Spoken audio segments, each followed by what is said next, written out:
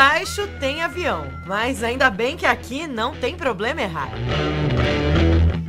Foi difícil, sempre foi baixo, mas quando meu pai jogou foi lá, quase encostando no céu. Já lá em cima, tudo tem que ser calculado, não há espaço para falhas. A gente faz treinamentos todas, toda semana e, na verdade, todo, todo o display de demonstração ele foi treinado exaustivamente pelos pilotos. E o líder ele serve como um, um maestro.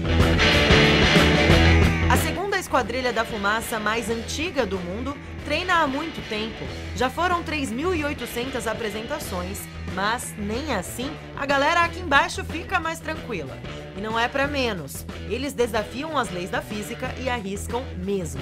Nesta manobra, seis aeronaves voando de dorso e muito próximas. Menos de dois metros separam uma da outra. O movimento é tão arriscado que colocou a Esquadrilha da Fumaça no livro dos recordes. E este é só um. Os sete pilotos que fazem 50 demonstrações anuais tiram o fôlego de quem assiste.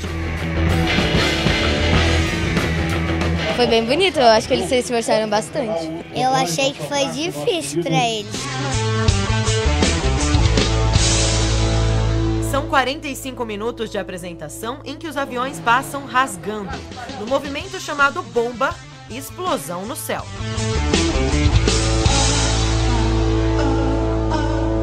No Lancevac, a aeronave número 7 gira em torno de todos os eixos.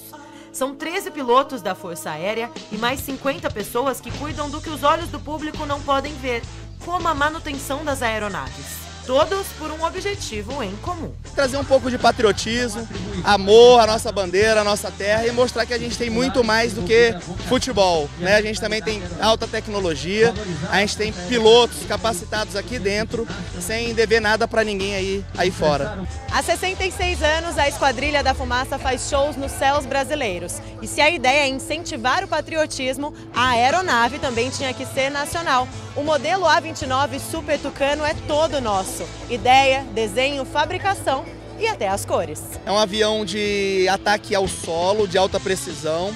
E ele já foi vendido para vários países do mundo, inclusive para os Estados Unidos, que é uma das referências em termos de produção de aeronaves, né? Na aeronave brasileira, muita tecnologia para garantir segurança a quem está ali dentro. Estes profissionais sabem e assumem o risco que correm. Muitas vezes estão realizando um sonho. É o caso do Major Pimentel. A gente tenta inspirar essa vocação aeronáutica nas crianças, como eu um dia fui inspirado. Então a Esquadrilha da Fumaça, quando eu tinha 6, 7 anos, ela me inspirou, eu peguei os autógrafos dos pilotos e botei na minha cabeça que um dia eu iria para a Força Aérea e tentaria ser da Esquadrilha da Fumaça, né? A Laura já tem uniforme de pilota e pro Heitor, apesar de ainda não ter tanta habilidade com o avião, o exemplo tem funcionado. Você quer ser piloto? Quero. A apresentação da Esquadrilha da Fumaça foi só uma das atrações do aniversário da cidade. Desde a economia, a economia solidária, para vender artesanato, tem comida, tem bebida, a todos os gostos. E para as 20 mil pessoas que participaram da festa, era hora de começar o Paracundê.